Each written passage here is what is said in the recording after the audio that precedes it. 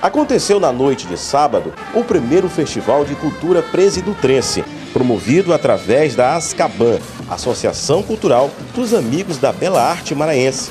O evento conseguiu reunir vários jovens, onde puderam expressar e mostrar todos os seus talentos. A primeira atração da noite foi com o guitarrista Paulo Marinho.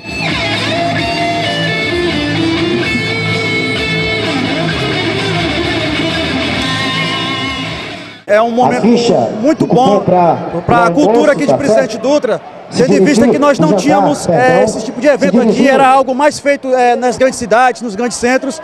E graças ao Márcio Márcio, ele trouxe esse evento para cá e pôde proporcionar essa, essa grande festa né, para a população presidentrense.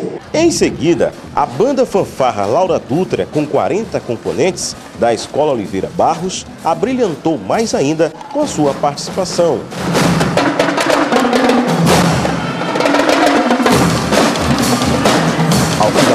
Apresentação, a entrega de certificados. Essa nossa banda ela, ela foi constituída pela vontade dos pais, né? Ela começou com 15 instrumentos, né? E na maioria sendo doado pelos próprios pais. E hoje nós contamos com 40 instrumentos, onde a escola alavancou projetos para isso e eu não quero deixar cair. Parabéns à organização do evento. Parabéns, está de parabéns. É uma força de vontade muito grande. É uma pessoa que luta e que quer ver acontecer, que é o Márcio com sua equipe. Então está de parabéns. O grupo Star Kids da Escola Teresa de Oliveira não ficou de fora e mostraram toda a coreografia realizada pela professora Maiara Borges.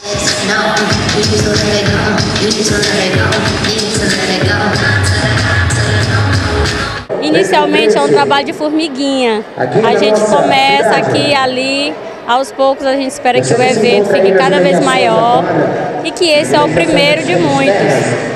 E hoje tivemos várias apresentações, dentre bandas, é, cantores, danças.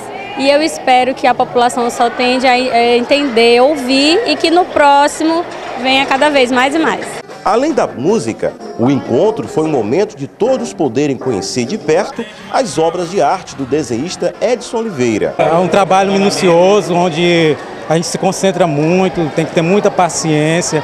Então é um trabalho que você vai construindo, né, pouco a pouco, para ter um bom resultado. Um quadro desse aqui, você leva quantas horas para fazer?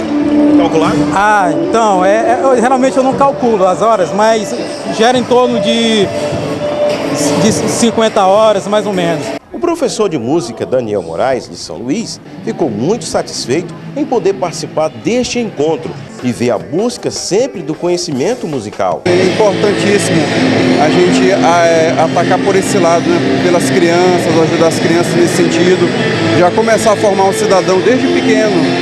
E hoje a gente aqui no Brasil a gente tem um grande problema, que são as drogas e outros, e outros problemas mais.